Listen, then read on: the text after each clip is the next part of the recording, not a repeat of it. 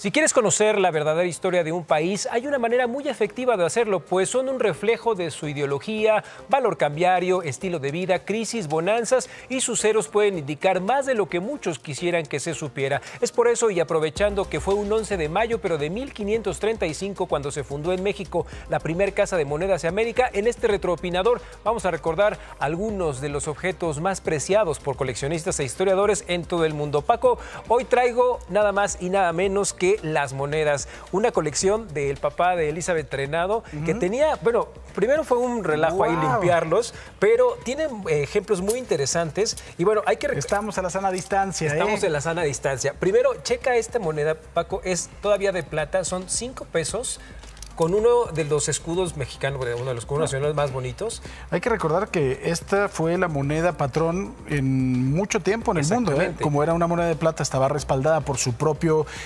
hay que recordar que es un concepto jurídico, que hay un valor intrínseco y un valor extrínseco.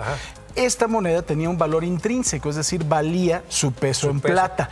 De hecho, nuestro peso se llama peso justamente porque como a veces no podías saber muy bien cuál era el valor de tu moneda, todo se pesaba. Entonces era un peso, un peso, un peso, o se pesaba esa moneda. De hecho, bueno, ese ahí tienes a, este, no me acuerdo qué. Este es Cuitláhuac, ¿no? Es Cuitláhuac.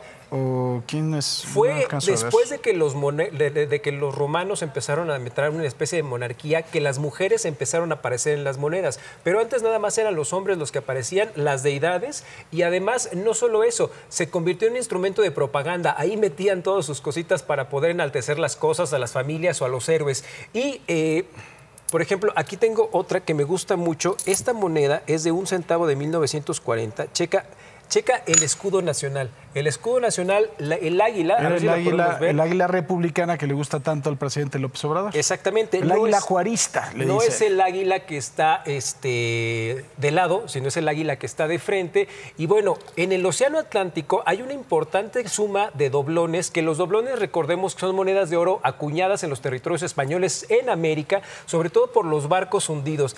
Ve, por ejemplo, aquí tengo nuestras famosas monedas de 500, 200 y 100 pesos. A ver si wow. Pero no solo eso, fue antes de nuestra famosa devaluación cuando tenían tres ceros. Esto es muy interesante. Una Miren, moneda aquí... de 500, este es Francisco de Madero.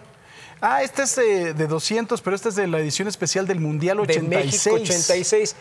Para que ustedes se den una, idea, las monedas, tanto de, por sus materiales como por sus peculiaridades, son el valor y, el peso que van a tener. Pero vean, estas dos monedas que yo tengo fueron con las que Paco y yo nos mandaban a la tienda. Esta es la de mil pesos y esta es la de 100 pesos. De esta, Paco, me acuerdo, la que tenemos eh, a Venustiano Carranza, esta era lo que nos alcanzaba para unas papitas. No, mira, yo te voy a decir con cuál. A mí me mandaban a la tienda con esta. Si usted llevaba una moneda de estas, era el chavo más poderoso de el colegio. ¿De cinco pesos? De cinco pesos. A mí te alcanzaba para una torta de salchicha. y para, Que era una torta de salchicha, además de todo, que tenía una telera, una salchicha, y un poco de mostaza. Y eran cinco pesitos. Eran cinco pesos y todavía te comprabas algo de tomar y un postrecito. Y además hay otra cosa que tiene nuestra peculiar, eh, nuestra moneda de peculiar. Ustedes eh, ya están acostumbrados a tener el signo de peso, a ver el signo de peso en las monedas. La moneda mexicana fue la primera en incluir el signo de pesos en, los, este, en, estas cosas. Este supongo que era una moneda de 10 pesos. Esa creo que la limpié demasiado. Entonces, bueno, y estas le voy a decir una cosa. Las, eh, de alguna forma, las... Eh, ¿Cómo se llaman? Las... ¿Las qué? Las clonaban muchísimo. Ah, claro. Las falsificaban mucho. estas en particular. Había, miren, este tipo de monedas, hay dos, dos cosas que podías hacer con estas monedas. Uno, metías rondallas al teléfono para que pudieras hablar gratis. Y dos... ¿No hay un 20 por ahí? Sí, por ahí hay un 20. Y dos, cuando, cuando se te iba la luz, le ponías un 20 justamente al fusible para que hiciera las veces de corriente y ahí lo metías y empezaba a generar la luz. Claro, provocaba unos cortos impresionantes si no tenías cuidado. Aunque usted no lo crea antes, uno iba a la esquina a hablar por teléfono con unos teléfonos que tenía teléfonos de México, Telmex.